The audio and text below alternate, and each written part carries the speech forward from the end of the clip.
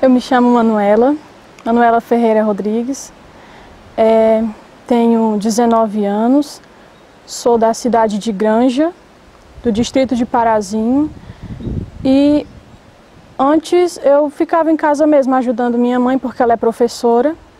Eu cuidava de casa, meus irmãos iam para a escola e meu pai também ia trabalhar. A primeira vez foi no encontro vocacional diocesano em Tianguá. Eu a princípio assim, me sentia chamada à vida religiosa, mas mais para a vida ativa, né? Porque eu queria me doar junto com os, estar junto dos pobres, estar junto dos que precisam de Cristo, assim ativamente. E só que eu ainda conheci algumas congregações, mas não era lá. Eu não, eu não sentia assim como se ainda não é aqui.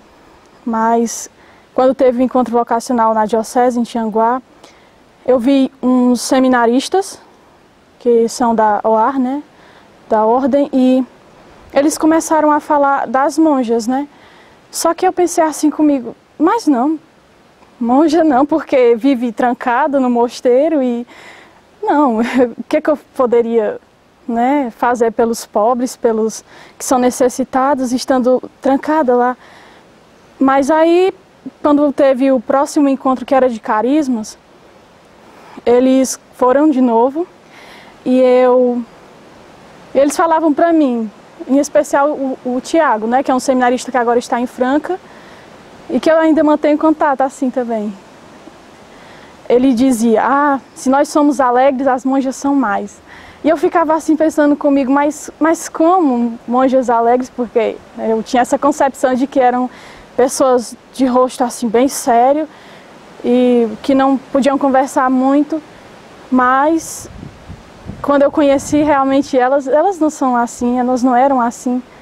Eu sei que primeiramente eu falei com a Sor Aurilene e a Sor Laura, mas a minha conversa particular mesmo foi com a Sor Aurilene. E aí eu falei para ela desse desejo que eu tinha de servir a Deus, à igreja, e que eu já tinha conhecido algumas congregações de vida ativa, mas não tinha me sentido ainda como que realizada ali. E ela me convidou para para manter contato, né, assim para um dia vir visitar o mosteiro. Isso era no final de 2014. Eu sei que eu esperei, esperei e não recebia, né, resposta. Aí quando foi um dia lá em casa, a minha mãe minha mãe disse assim, Manuela, umas monjas ligaram aqui para casa e eu, o quê, mãe? As monjas? Eu fiquei tão contente porque assim eu me senti, nossa, elas ligaram mesmo, então eu fiquei assim muito alegre. Aí eu fiquei pensando nelas, disseram para minha mãe que ia ter um encontro vocacional aqui no mosteiro. E como eu sou de um pouco de longe, eu sou de Granja, é mais pro sertão, né? E aqui é serra, só tinha um ônibus que vinha até aqui. E aí eu fiquei, meu Deus do céu, eu nunca viajei sozinha. Eu nunca viajei sozinha, eu nunca fui, eu nunca fui, passei da, da cidade de Tianguá, porque Guaraciaba é muito mais longe, né, do que Tianguá. E eu fiquei pensando, meu Deus, quem pode me ajudar nessa situação? Mas aí eu soube que realmente tinha esse ônibus que vinha de Camusim até Crateus, né? E passava aqui, Guaraciaba do Norte. Só que eu pensei comigo, eu não, não vou sozinha, porque de Granja, de Parazinho eu tinha que ir para Granja.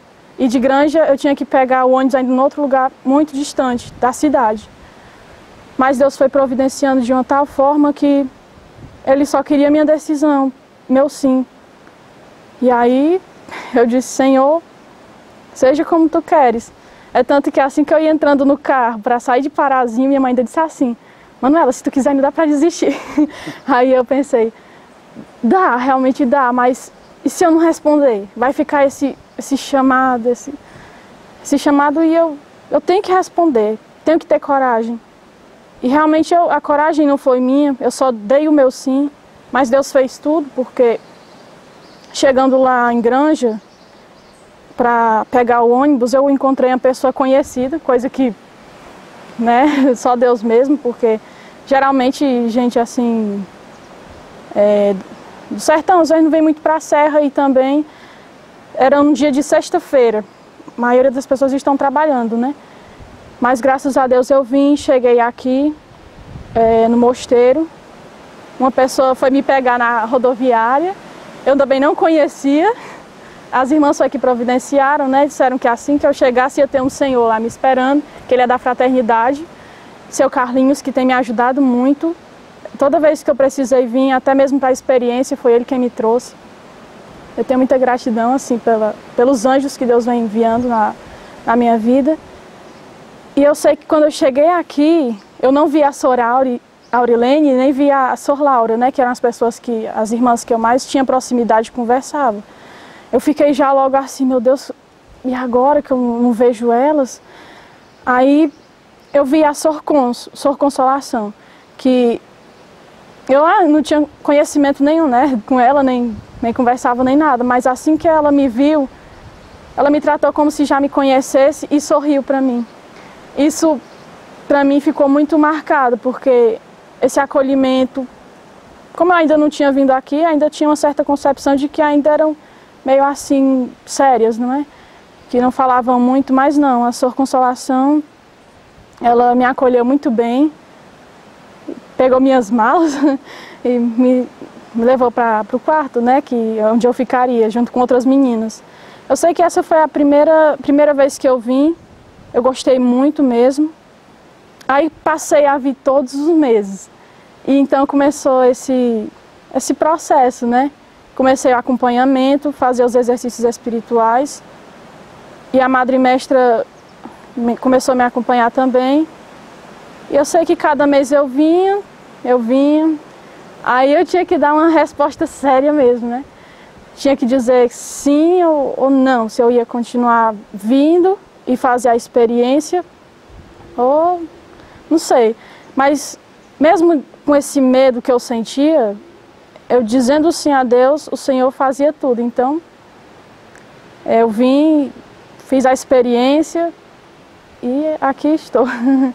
Eu não conseguia dormir direito, não. Eu ficava, de repente eu me acordava, me acordava muitas vezes, pensando que o sino tinha tocado e eu não tinha me levantado, não tinha acordado.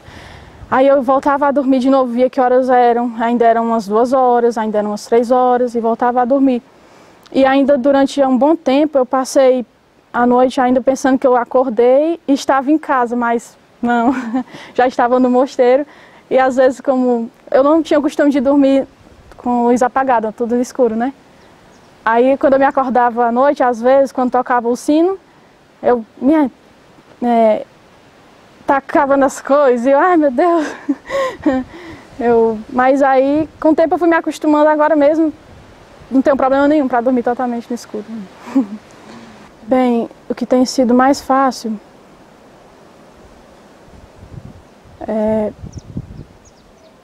não sei, assim, graças a Deus, eu tenho uma boa interação com a comunidade. Eu sendo eu mesma, consigo me relacionar bem com todas. Porque isso já é uma, uma coisa de mim, né? De conversar, de rir, e às vezes eu pensava assim, não, como eu sou desse jeito, né, sabe, lá são muito sérias, eu... Mas tem sido bem, graças a Deus, a minha convivência com todas aqui, graças a Deus. Isso tem sido fácil, muito fácil, me relacionar com todas bem, né? E difícil, difícil é deixar de fazer o que eu quero, que eu, que eu gostaria de fazer para servir. Tipo, eu Muitas vezes eu estou na minha oficina, né? Como, por exemplo, se eu estou no refeitório. No refeitório tem muitas coisas para fazer, né? E aí tem outra irmã que precisa de uma ajuda na cozinha. Embora eu saiba que no refeitório tem muita coisa para fazer, mas na cozinha está precisando mais rápido, né? Que eu tenho que ajudar lá. Então, o que me custa às vezes é isso, de deixar o que eu tenho para fazer para ir ajudar a outra. Mas aí eu penso assim, que se Deus me chama para servir, para servir nesse modo de vida, sendo na cozinha ou sendo no refeitório, eu estou servindo do mesmo jeito a Ele. E assim eu vou, vou indo, passando em cima do meu querer. Às vezes também a gente cai, mas buscando, né?